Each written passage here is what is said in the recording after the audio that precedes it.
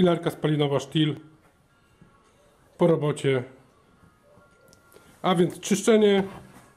Właściwie kilka robót zrobiła. Jak widać zawalona syfem. Cała. Tutaj wszędzie brudne. Trzeba to wszystko wyczyścić. Oczywiście zdjąć ten, tą pokrywę. Tu mamy filtr.